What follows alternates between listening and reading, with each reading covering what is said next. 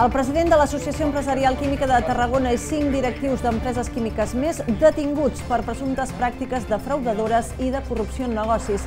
Segons avança l'agència EFE, estaríem parlant d'una estafa en el subministrament elèctric que podria arribar als 100 milions d'euros haurien presumptament falsificat dades per aconseguir millors contractes i energia més barata.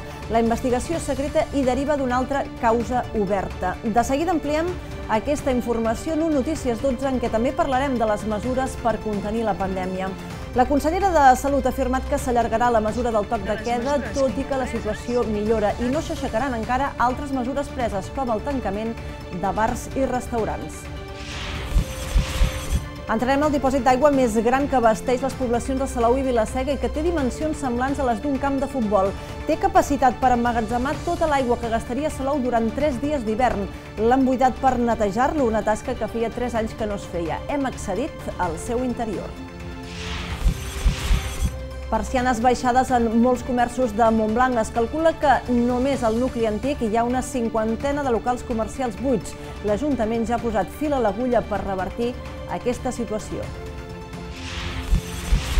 i situació crítica de les sales de concerts que porten 8 mesos tancades. Parlarem amb la Sala Cero de Tarragona i la Red Star de Valls, que participen en una campanya de sensibilització conjunta de les sales catalanes, algunes de les quals es plantegen ja el tancament definitiu. Són els titulars d'aquest dijous. Benvinguts, benvingudes al Notícies 12. Comencem.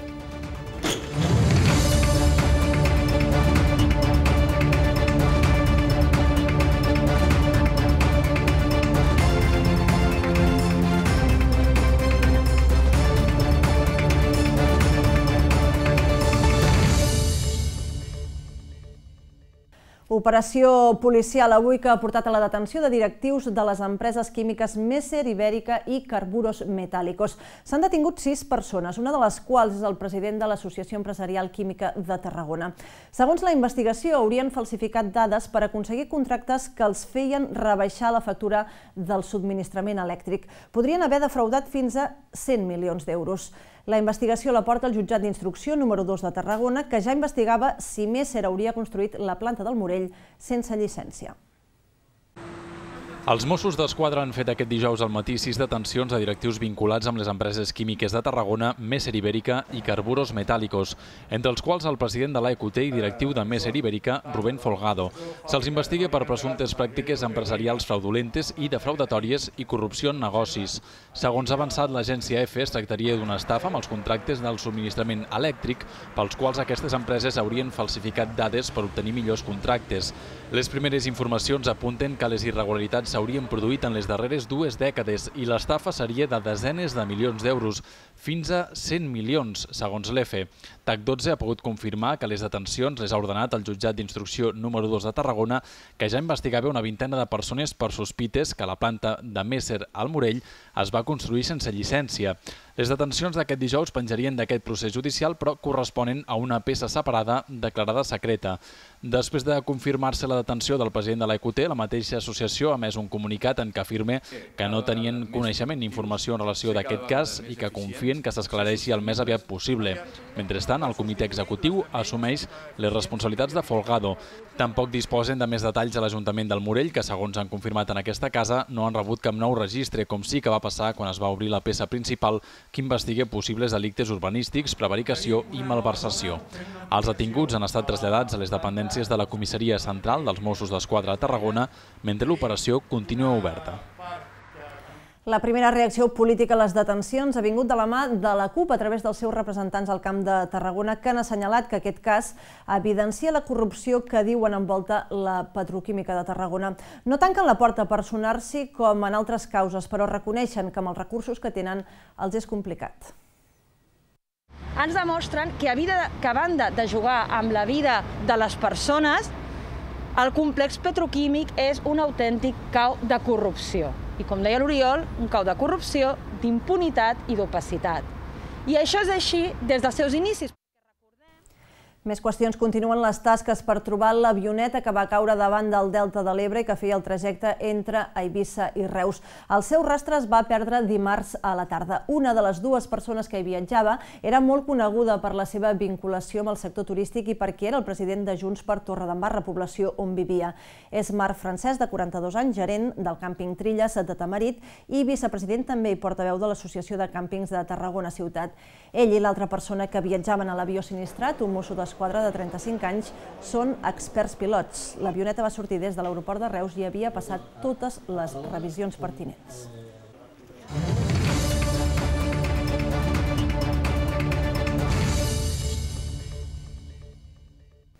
Actualitzem com cada dia les dades del coronavirus. El Departament de Salut ha notificat sis defuncions amb coronavirus les últimes 24 hores al Camp de Tarragona. Hi ha un lleu increment de la pressió hospitalària i el risc de rebrot. És la primera pujada del perill de rebrot en els últims eh, set dies. Aquí tenen les dades específiques. Parlem de 305 casos més amb test PCR per coronavirus. Les defuncions que hem dit han pujat en 6 persones i també aquests ingressos amb 5 persones i un un cas més ingressat a les unitats de cures intensives. Ens movem sobre un nivell de risc de rebrot de 785 punts. Salut avisa que s'està anant pel bon camí, però que queda molt per rebaixar la segona onada de contagis i que no es pot relaxar ningú perquè la situació segueix sent greu.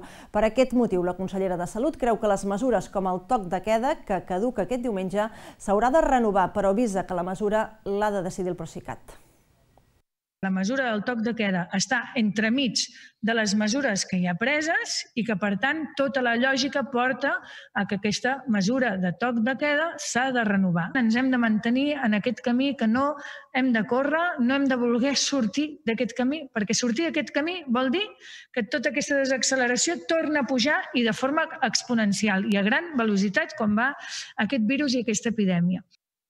Per tot plegat, Protecció Civil també avisa que les celebracions de Nadal la població ja es pot anar fent a la idea que no es podran fer com fins ara. Creuen que molts actes, com les cavalcades de Reis, comporten aglomeracions que ara no es poden produir pels riscos que comporten.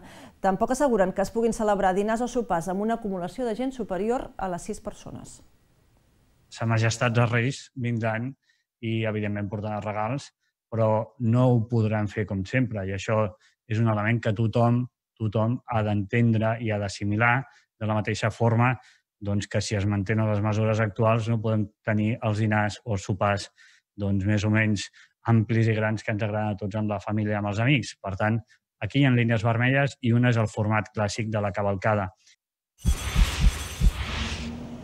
Homenatge avui a la residència Vilaseca, gestionada pel grup Mutuam. Familiars d'usuaris han volgut agrair als treballadors del centre la seva dedicació en temps complicats com els actuals. S'han concentrat a les portes de l'equipament per aplaudir els professionals de la residència, un gest al qual s'hi han afegit també els sanitaris per valorar la paciència dels familiars que els últims mesos han hagut de minimitzar el contacte amb els residents per les restriccions sanitàries. Asseguren els familiars que els professionals del centre tenen tota la seva confiança i que s'ha d'agrair molt la seva tasca. El centre Vilassacà acull prop d'un centenar d'usuaris.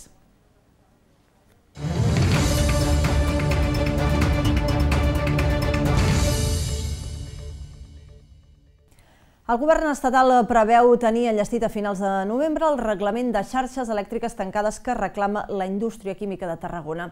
Així ho va assegurar la ministra de Transició Ecològica, Teresa Rivera, en resposta a una pregunta del grup d'Esquerra al Senat. La senadora tarragonina, Laura Castell, ha assegurat que aquest serà un pas important per millorar la competitivitat del clúster químic de Tarragona. Recorda, recorda que ja fa quatre anys que els republicans treballen per aconseguir implementar un reglament beneficiós que generarà un estalvi del 30% dels costos energètics al polígon de Tarragona. Significa competitivitat. De fet, s'havia calculat al seu moment per part de la indústria química que l'impacte en el volum d'inversions previstes, si això s'implementa, podria arribar a ser de 1.000 milions d'euros i la generació de 1.600 llocs de treball altament qualificats. Per tant, entenem que això és que és, eh, és molt important. Ho vam entendre de seguida fa quatre anys i ens hi vam posar i finalment sembla que podem començar a tindre els nostres rèdits i, i, i estem contents. I Quoxe ha valorat en declaracions aquesta casa l'informe independent encarregat per la Generalitat sobre l'accident del passat gener. Considera que l'aportació és positiva i que estudiarà les propostes de millora que aporta la consultora noruega.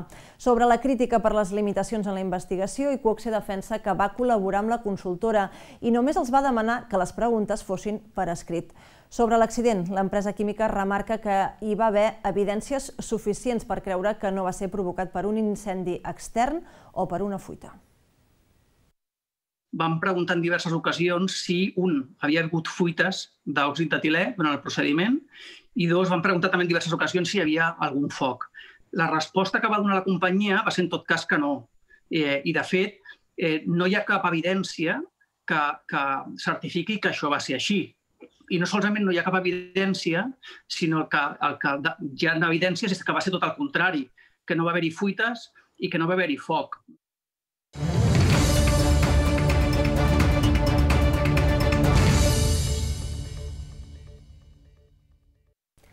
El grup municipal del PSC a l'Ajuntament de Tarragona denuncia que l'equip de govern de la ciutat, format per Esquerra i Comuns, encara no ha presentat el projecte de pressupostos per l'any que ve. Els socialistes creuen que és una mostra més d'inacció i manca de previsió de l'executiu municipal. Creuen que les dates que ens trobem ja s'hauria de conèixer la proposta perquè tots els grups de l'oposició poguessin aportar les seves esmenes. Consideren que els comptes de l'any que ve són dels més importants a causa de la situació que està deixant la pandèmia. Perquè el PSC hi votés a favor d'aquests pressupostos, pressupostos haurien de contenir, entre d'altres, un impuls als plans d'ocupació, reforçar els serveis socials, desencallar projectes culturals de la ciutat com la tabacalera i fer el bus municipal gratuït. Estem al mes de novembre i encara no tenim una proposta de pressupostos eh, sobre la taula per part del govern municipal. Ja fa mesos que denunciem eh, doncs, la manca de previsió i, i de planificació que té aquest govern al respecte de moltes qüestions. No? Han començat els tràmits per fer les expropiacions per la canalització del barranc de Benells de Salou, uns treballs que podrien iniciar-se al setembre de l'any que ve. A partir d'avui fins al 25 de novembre estan convocats a l'Ajuntament els titulars dels béns afectats per aquestes expropiacions. A més, Adif també està executant les expropiacions dels terrenys per construir la nova estació de trens Salou-Portaventura. En aquest cas, els afectats tenen fins al 3 de desembre per passar per les oficines municipals és un bon símptoma de que el projecte del barranc de Barenys definitivament ja veu la llum. Cal dir que no ha estat gens fàcil, fa molts anys que anem al darrere de que s'arregli definitivament aquestes inundacions que patim al barri de la, de la Salut. Saló té connectivitat amb l'eix central de, de lo que és el, el corredor del Mediterrani, per tant hem tingut connectivitat i tenim connectivitat eh, ferroviària, però evidentment ens faltava construir aquesta estació. No ens movem de Salou per entrar al dipòsit d'aigua més gran de casa nostra. És un dels vuit de la mancomunitat que gestiona els recursos hídrics de Vilaseca i Salou. Només amb la seva capacitat es pot abastir durant tres jornades d'hivern tota la capital de la Costa Daurada. La infraestructura es buida completament per desinfectar-la i per fer-ne un diagnòstic. A hores d'ara no s'han trobat danys que afectin greument aquest dipòsit amb 30 anys d'història. Nosaltres ens hi hem endinsat està entrant al dipòsit d'aigua més gran de la demarcació de Tarragona. És el dipòsit Ebre-Salou, encarregat de donar servei al municipi de Salou i al nucli de la Pineda de Vilaseca. Té les dimensions aproximades d'un camp de futbol i una capacitat de 30.000 metres cúbics. Feia 3 anys que no es buidava per a poder-lo netejar i revisar-ne l'estructura. Durant aquests dies, una desena de tècnics hi estan treballant per desinfectar la infraestructura a fi d'assegurar la qualitat de l'aigua. En aquest cas és un dipòsit que no porta gaire problemàtica, ja que com que en el seu 90% l'aigua que rep és del, de la planta potabilitzadora de l'Ebre, és una aigua que ja ve tractada, filtrada i potabilitzada d'alguna manera. I aquí simplement es fa un procés de recloració per subministrar ja en baixa als, als ciutadans. Aquestes parets arriben a contenir anualment 8 hectòmetres d'aigua, és a dir, 8.000 milions de litres. Només amb la seva capacitat es pot abastir tota la ciutat de Salou durant 3 dies d'hivern o tota una jornada d'estiu. I és que la Mancomunitat, que gestiona conjuntament els recursos hídrics de Salou i Vilaseca, calcula que la diferència entre el consum diari d'aigua de boca és tres vegades major a l'estiu que a l'hivern. Als mesos d'hivern eh, es gasten aproximadament uns 10.000 metres cúbics eh, diaris eh, i a les puntes de l'estiu eh, arribem fins al 30.000. Mm? 30.000. És el consum estimat que, que hi ha en, en els dos municipis. El de l'Ebre Salou és un dels vuit dipòsits de la Mancomunitat. Durant els mesos de novembre i desembre es repetiran les tasques de manteniment en la resta de dipòsits de la xarxa. La Generalitat finançarà les obres de millora de les instal·lacions de les escoles Baltasar Segur i Aladi Oms de Valls. L'Ajuntament va aprovar l'estiu un projecte que contemplava l'habilitació dels antics espais que els dos centres destinaven a habitatge del conserge com a noves aules. Una intervenció que permetrà compensar la manca d'espai que pateixen aquests dos centres. En el cas del Baltasar Segur també s'ha previst la renovació integral de la cuina per millorar d'aquesta forma el servei de menjador. En total, el cost de les obres s'enfila fins als 485.000 euros. D'aquests, segons el conveni signat entre Ajuntament i Generalitat, el Departament d'Educació n'assumeix gairebé la totalitat, 456.000 euros. Molts comerços de Montblanc estan baixant les persianes, alguns d'històrics que no troben ningú per fer el traspàs. A tot el municipi hi ha una vuitantena de locals comercials buits. L'Ajuntament ja s'ha posat mans a l'obra per revertir aquesta situació. Aquesta imatge va d'un local comercial amb la persiana baixada no és difícil de veure a Montblanc. Només al centre històric hi ha una cinquantena de locals buits, 80 si comptem tot el municipi. És el resultat d'un estudi de l'Ajuntament de Montblanc per conèixer la situació real dels locals comercials de la vila. L'objectiu és intentar revertir aquesta tendència i evitar que el centre es quedi sense comerços. Tenim una mica ja una visió més completa, amb dades de la situació actual dels locals comercials buits, N'hi ha moltíssims, de concentrats sobretot a la part del casc antic i bé, haurem de treballar per, per intentar eh, anar omplint o almenys traspassant els que, els que ara actualment, que n'hi ha uns quants, es volen traspassar. I és que ara mateix hi ha fins a 5 negocis que han tancat o esperen fer un traspàs. Són negocis que tenen entre 30 i 40 anys i que els seus propietaris ara es jubilen. És el cas de Teixits Pastori, que després de gairebé 30 anys tancarà definitivament en els propers mesos si no aconsegueix traspassar-lo. La crisi generada per la Covid-19, però, no hi ha ajudat. Clar, és que a veure, la idea seria aquesta, de traspassar, però con tot això del coronavirus ve que tota la gent té com una mica de por, perquè abans de, de, de esto del coronavirus jo tenia unes noies que estaven interessades. I claro, con esto del coronavirus han estat una mica enrere. No sé, jo crec que, bueno, pues no sé. No sé si sortirà algú, bé, perquè l'assumpte la gent està espantat. La realitat és aquesta. No totes, però, acaben tancant. També hi ha alguns casos d'èxit, com aquesta botiga que hi ha al meu darrere que ha aconseguit traspassar en els últims dies, gràcies també a l'eina reempresa de la Generalitat de Catalunya, que aquí a Montblanc també té un punt d'assessorament. A la comarca hi ha fins a 10 eh, botigues que estan en aquest procés, 5 d'elles a Montblanc.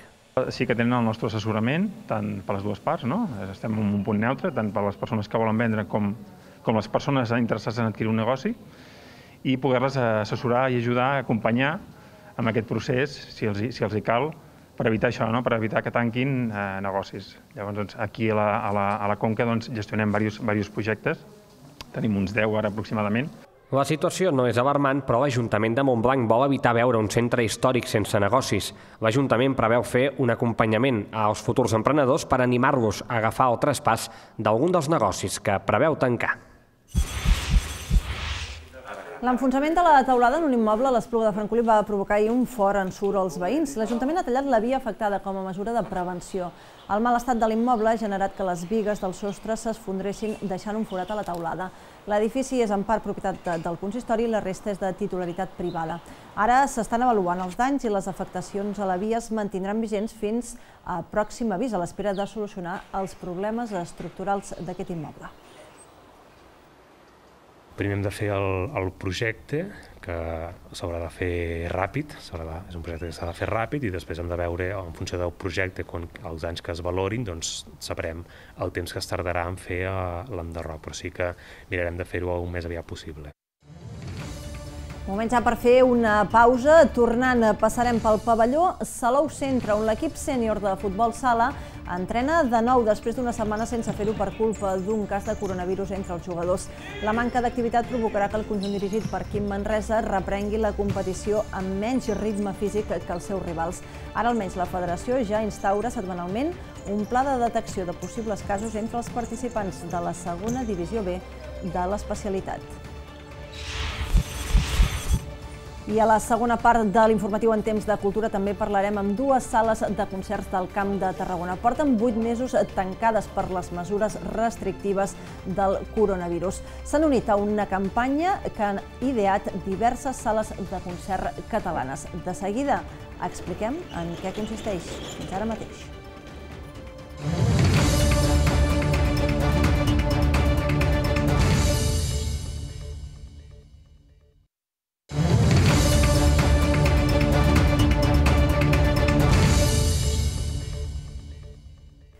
Serà gairebé com realitzar una pretemporada al mes de novembre. El Salou Futbol Sala va tornar al vespre als entrenaments després d'una setmana sense fer-ho per un cas de Covid a la plantilla. La resta del grup va donar negatiu, però els protocols de seguretat provocaran que l'equip reprengui la competició amb menys ritme del desitjat. Ja els tenim aquí set dies després del positiu d'un integrant del Salou Futbol Sala de la segona B que va ajornar el partit de Lliga de diumenge passat perquè les mesures de prevenció del coronavirus al municipi van deixar-lo sense poder exercitar-se durant una setmana. El guirigall pel cas de Covid-19 dins el grup va ser considerable perquè mentre que el protocol de salut a Catalunya s'actualitza constantment, el de la Federació Espanyola de Futbol no ho fa des del setembre. A banda, cada ajuntament pot situar el llistó de mesures d'actuació més o menys alt en funció dels seus propis criteris. Apareixen un munt doncs, de, de situacions imprevisibles, no? com, com què és el que hem de fer, perquè és la primera vegada que ens passa, no saps si trucar al 061, si el protocol de la federació, llavors doncs, rebem missatges contradictoris de diferents llocs doncs, que, que truquem. Quim Manresa va lamentar temps enrere que la competició es desenvolupés sense realitzar proves d'antígens entre els participants. Això ara ja ha canviat i els controls seran setmanals. Ahir mateix els jugadors van arribar en comptagotes del pavelló de Ponent i amb un negatiu sota el braç ben vigent. Els deures sanitaris previs i el toc de queda provoca que els entrenaments siguin excessivament curts, especialment significatiu quan s'acumulen ja 7 dies sense treballar. Diumenge, Salou Mataró. Vam fer una trobada doncs, online doncs, per, per fer una miqueta de mobilitat i de treball de força per fer una miqueta de manteniment. No crec que ens condicioni a nivell de joc doncs, la, la situació en la que vivim sí que ens pot afectar doncs, en el ritme d'entrenament i de competició. Mataró doncs, té, té un equip amb molt bons jugadors, té un sistema ja molt definit, amb una estratègia doncs, ja que ells coneixen molt, molt, molt bé, que és l'equip que va fer la promoció per pujar l'any passat, tot i que encara no ha aconseguit puntuar. El partit es disputarà a les 12 del migdia, aquí mateix, i a porta tancada amb les baixes per lesió de Toni, que pateix un esquins a l'espatlla, i el dubte per molèsties de Jordi Porqueres. Els saluencs sumen una derrota en l'únic duel que han pogut disputar.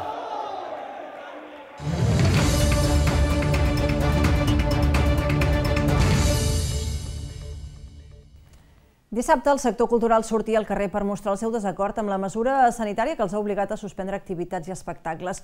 Un dels col·lectius més afectats per la mesura és el de les sales de concerts, que ja fa 8 mesos que estan tancades. La seva situació és límit i per això el sector prepara una campanya especial. Des de fa 8 mesos, la vida a l'interior de les sales de concert s'ha aturat. Ara els escenaris estan buits, els focus apagats i les pistes de ball solitàries. Sense públic, sense ingressos i amb la persiana baixada des del mes de març, els empresaris del sector veuen, si es manté el negoci tancat, com perilla el futur d'aquesta indústria. Si s'allarga molt més, la sala acabarà tancant. Vull dir, podem anar mantenint els pagaments d'estalvis que tenim, però aquests estalvis arribaran a un punt que s'acabaran i, i s'haurà de tancar la sala. Igual que la veient Carret Star, la Sala Zero de Tarragona no fa sonar els seus altaveus des del passat 7 de març. A diferència d'altres equipaments culturals que, superada la primera fase de la pandèmia, van poder reobrir amb condicionants, les sales de concerts incloses dins l'apartat d'oci nocturn, amb restriccions més estrictes, no han pogut retornar a l'activitat en cap moment. Volen reobrir, però en la situació actual necessiten i reclamen ajuts a les administracions públiques, sigui a través de rebaixes fiscals o d'ajuts directes. No hi ha cap uh, cura de les administracions al respecte, ni en revisió del, del tema fiscal, ni en ajuts uh, directes que permetin mantenir doncs, una infraestructura que, si es perd, es perd per complet. Les sales de concerts tenen aquesta, aquest tarannà, no? Que doncs, no, no són equipaments especialment rendibles. A l'estat espanyol doncs, eh, eh, funcionen pràcticament totes eh, des del sector privat i per tant necessiten eh, estar funcionant contínuament per, per, per estar vives. Si no poden funcionar, necessiten que el sector públic, que és qui decideix que no, que no estiguin operatives doncs se'n faci càrrec, si més no parcialment, i això no ha succeït. La demanda és col·lectiva. Les sales catalanes, a través de la SAC, volen visibilitzar la seva situació. Preparen a través de les xarxes una mobilització que ja compta amb el suport de les 65 sales catalanes que formen part de l'associació i que també han sumat a la iniciativa sales d'arreu de l'Estat. La campanya, que es pot seguir per les xarxes, porta el nom El último concierto. És un crit agònic per evitar baixar definitivament la persiana. Un llibre i una plataforma digital repassaran la trajectòria del periodisme a la demarcació de Tarragona durant el darrer mig segle. És la iniciativa que impulsen els periodistes Josep Maria Àrias i Tomàs Carot. L'objectiu, trobar totes les dades possibles sobre projectes i professionals del Camp de Tarragona o Terres de l'Ebre des del 1969. La investigació finalitzarà amb la publicació del llibre i la creació del web que recollirà tota la informació recopilada i s'anirà actualitzant. El resultat final dedicarà un apartat complementari parlamentari que analitzarà l'impacte de la Covid en la tasca periodística de la demarcació. La iniciativa compta amb el finançament de la Diputació i Repsol amb el suport del Col·legi de Periodistes i la URB. Volem recuperar i recopilar el que han estat les experiències, no la nostra, sinó el de tothom en els seus mitjans respectius, poder reflectir com ha evolucionat i com ha canviat des de la màquina d'escriure fins al clic actual eh, i fer una reflexió de tot aquest panorama d'aquest mig segle. Recte final ja d'aquest Notícies a 12 per recopilar el més destacat. Els hem explicat que el president de l'Associació Empresarial Química de Tarragona i cinc directius d'empreses químiques més han estat detinguts per presumptes pràctiques defraudadores i de corrupció en negocis. Segons avança l'agència EFE, estaríem parlant d'una estafa en el subministrament elèctric que podria arribar als 100 milions d'euros. Haurien falsificat dades per aconseguir millors contractes i energia més barata.